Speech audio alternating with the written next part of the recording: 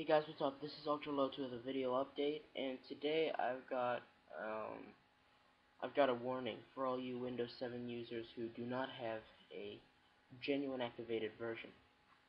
Okay, for those of you people who are like me and who want the latest operating system but don't want to pay for it, you you go up to YouTube and you know type in you know how to get Windows 7 for free or Windows 7 Ultimate for free, and it'll come up with all these with, with all these videos, right?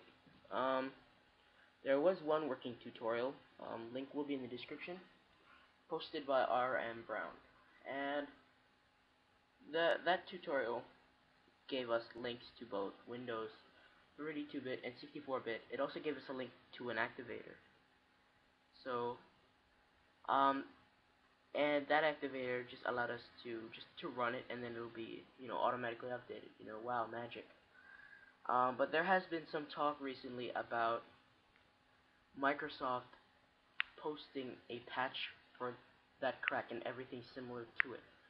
So here's a report right here. Wait for that to load up. There's a report right here on the register.co.uk. The link will be in the description to there also. And this is posted on the 12th of February 2010, very recently. Um, so yeah, yeah. Link will be in the description for that. I don't know why you guys would want to see it, but you know if you do, it's there.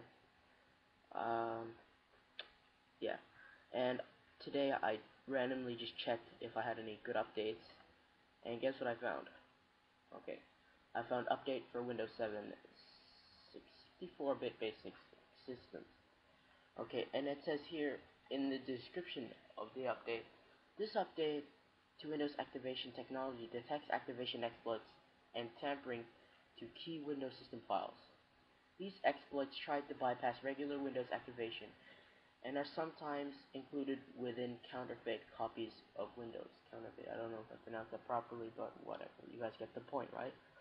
Um, if you guys, if you guys are, you know, if you guys get this, um, this update and you do not have a, a genuine activated version of Windows 7, and you know you're unsure of updating it, don't update it because um, if they find you and your and your activation is not genuine, they they will provoke your license and you know I don't know I don't, they'll they'll do bad stuff to you. Come on, it's Microsoft.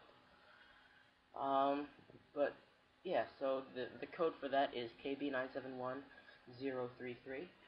So all, all this stuff will be in the description. You know, the description always helps. Um, it's there. Just, uh, you know, be aware. And the guy I was talking about um, earlier, RM Brown 09, he found a very, very useful activator. I'm not sure that he, I'm not so sure that he created the activator though, but he found it and it's very helpful. You know, if, if you want to use that, but you don't want to get caught, leave, this update out. It's um, on Windows 7. Ultimate 64-bit, that's what I've got. This is just a quick, um, a quick update, a quick warning. Thanks so much for watching, you know, be aware, and I'll see you guys next time.